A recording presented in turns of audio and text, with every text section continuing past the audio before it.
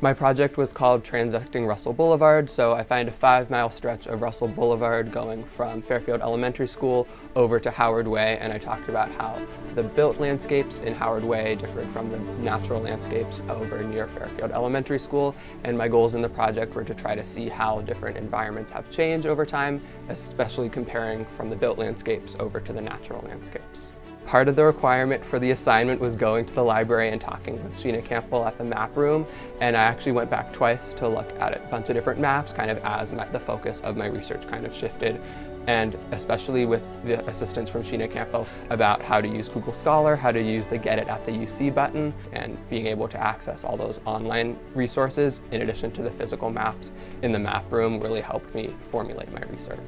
I started the project going to the map room and I kind of built a lot of the research and I built a lot of the ideas based on the findings that I learned. So kind of taking those maps and turning them actually into ideas and turning them into a full-fledged research paper was a bit of a challenge, but it was very helpful to be able to take advantage of the resources from the library to do that.